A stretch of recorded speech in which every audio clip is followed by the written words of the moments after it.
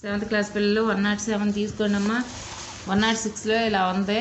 మీకు అర్థమైతే చదువుకోండి. ఇప్పుడు మనం వన్ నాట్ సిక్స్లోకి వెళ్దాం.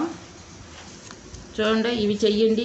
ఉపాధ్యాయులు చెప్పిన కింది పదాలను ఉత్తలేఖనం రాయండి. దిగంతాలు స్వప్నలోకం మైత్రి కులతత్వాలు నిస్వార్థత ముఖాకృతి చిత్రలేఖనం నృత్యం. పదిసార్లు రాయనమ్మా వన్ వన్ వర్డ్ పదిసార్లు రాయండి. అంట రాయాలి సెవెంత్ క్లాస్ పిల్లలు తెలుగు టెస్ట్ తీసుకున్నారా? One not seven. తీసుకుని చదవండి. టెన్ టైమ్స్ రాయండి వర్డ్స్.